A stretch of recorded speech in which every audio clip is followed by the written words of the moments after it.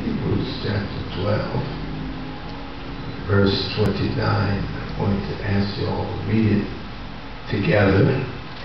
Amen. In unison. Amen. With a loud voice. Hebrews 12 and 29. Here begins the reading of the Lord's Word. For our God is a consuming fire. Uh, all right. Ooh.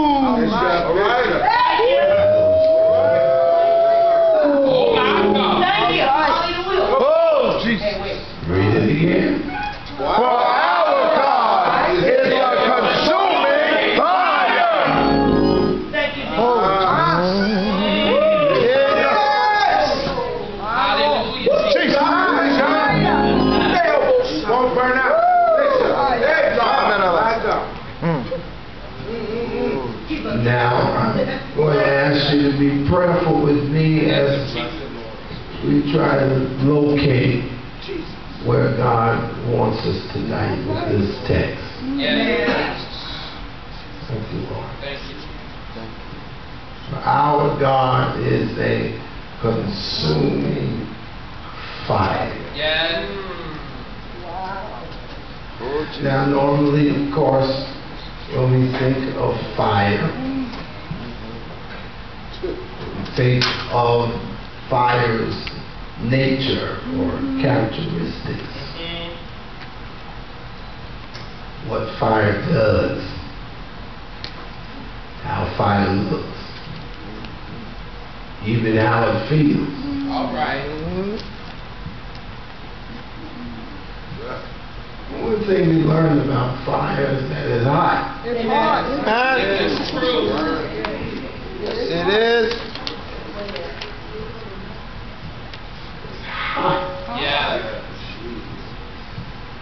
And even if a fire breaks out in uh, your house or in the building, you happen to be in the proximity of that space, the heat that emanates from the flames can kill you.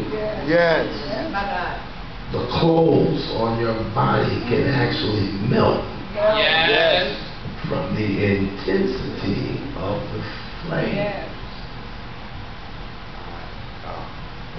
Another thing we know about fire is that when it first begins to blaze, it is bright. Oh, yes. And then after a while, it turns dark. Yes. If your house is on fire, you'll find that you can't hardly see. Not just for the smoke, but for the darkness. The Flames are no longer bright and lighting up the way. One thing about it, wherever a fire is, you know where it's been. Yes, it's true. Jesus. Because you're going to feel the effects or you're going to see the results Amen. of Amen. its presence having been there. In our looking at our text tonight, to look at it in context, the writer of Hebrews, which some say is Paul, but that's debatable. However, but the way that the letter is structured is structured in the same manner that the Apostle Paul would write his letters. So they they attribute that letter to Paul, whoever wrote it. Doesn't matter. But the context in which the the text was written has to do with the time uh, that Israel had a problem in the area of obedience for God. All right. Okay. They had gotten to the point, and I, I, I know that this is, amen, not strange to you, but some of us are guilty of it. Israel had gotten to the point where they didn't want to hear Moses. Right. Uh-huh. Uh-huh. Come on. All right. Jesus. Uh-uh. Whoa. Okay. All right. Now, those of us that follow Moses and Israel, knowing uh, they had a rocky relationship. Yes, they did. There was constant, constant times when Israel was murmuring, grumbling, and complaining. Yes, you don't know anybody like that, do you? Right now. Well, Always murmuring, rumbling, and complaining. Hmm. Anytime you ask them how they are, they don't even say fine. They just go right into whatever it is. Yes. And then some people are so troubled, they just tell everybody to do it. Glory to God. Everybody got to know their lives and all that's going on in their lives because they, they won't go to a therapist, oh my God. They won't talk to, amen, a confidant or something. So they talk to uh, another person and then they, they so full, they talk to another person and then they turn around and talk to another person. Amen. You don't know anybody like that, do you? And next thing you know, all their business is out on the street, and then they try to find out how it got there. All right. Glory to God. Put it. Amen. But the relationship between Israel and Moses was rocky. Yet, amen, they followed him. They followed him.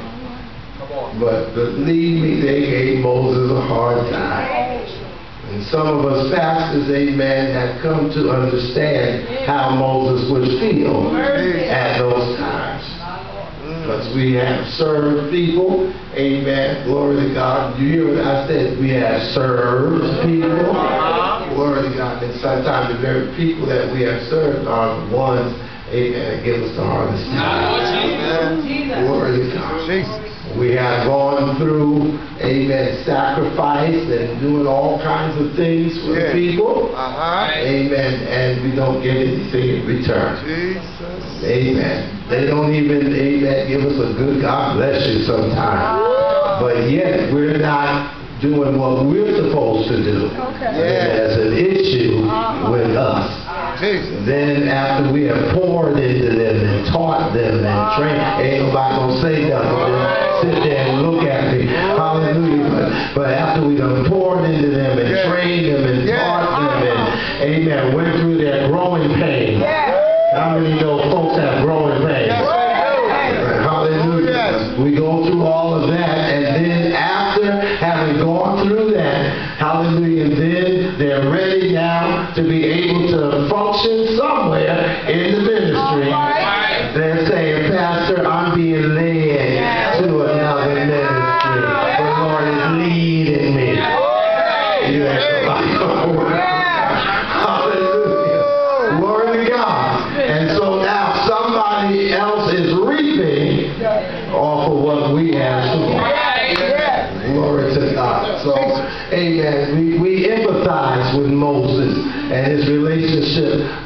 Israel. But Israel just really got to a place of rebellion. They were hard-headed and they were just plain old stiff-necked. Somebody say stiff-necked. Stiff-necked. They were stiff-necked. My God, they didn't want to hear nothing Moses had to say anymore. And so, if you allow me to paraphrase, they said, Moses,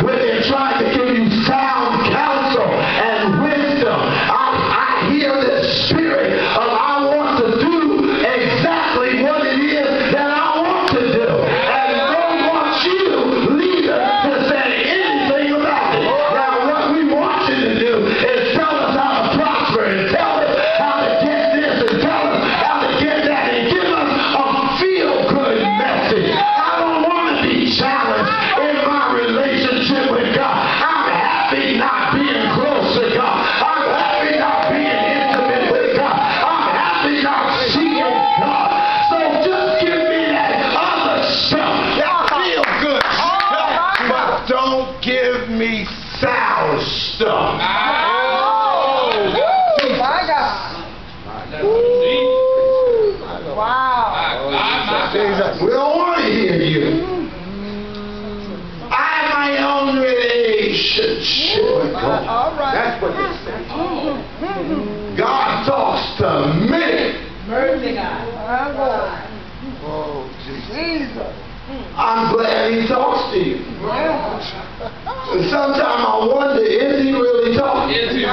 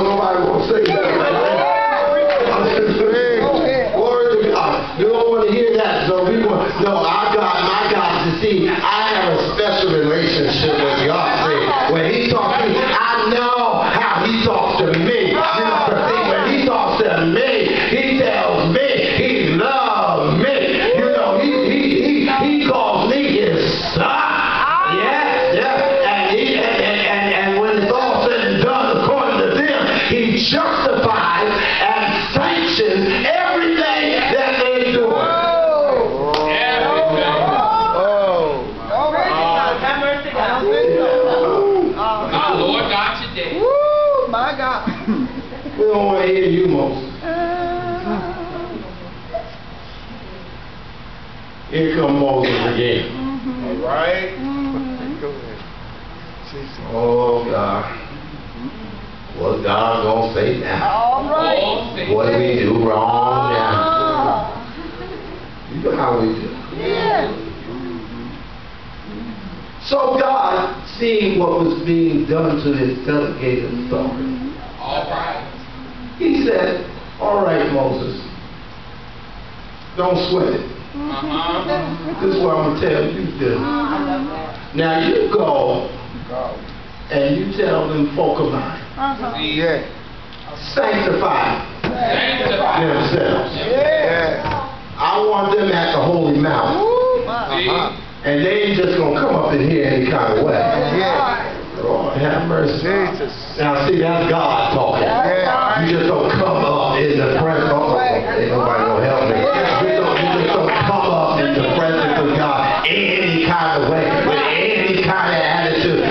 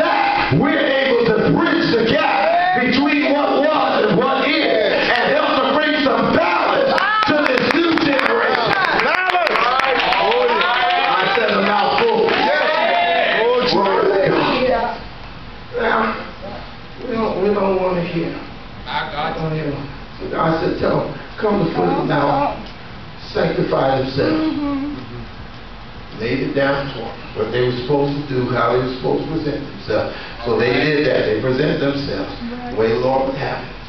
Thank you. Mhm. So they was all in place, and they was all in position. All of a sudden, All of a sudden. boom, boom, Yeah. Wow. ground started shaking. Uh-huh. They saw the mountain quaking and Yeah. and Yeah. it was just loud, and they just screaming. Can't you see them screaming Yeah. and hollering and holding their ears and shaking it? And and it seemed like the more scared they were, God would just keep on doing Oh, my God. boom, boom, All boom, right. Right. boom. All See, right, You know, he needs a boom, boom, boom, boom again. Yeah, he does. He really do. Yes. Uh-huh. He really do.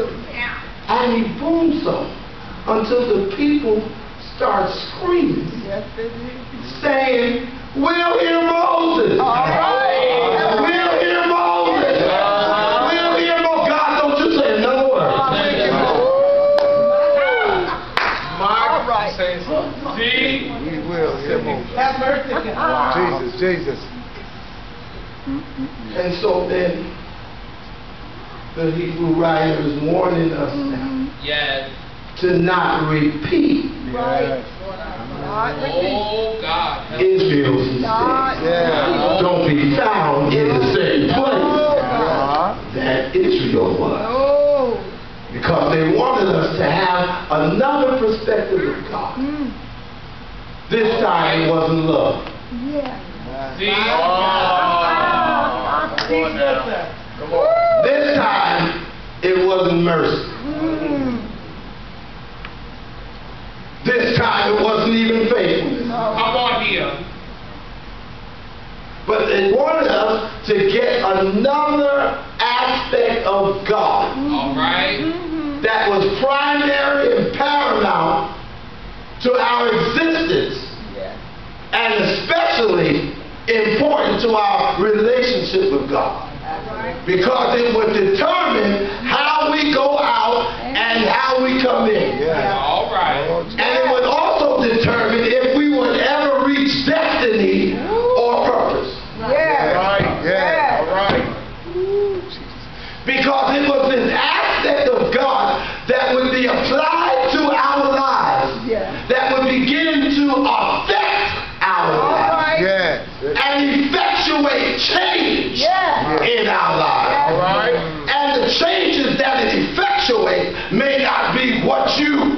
Them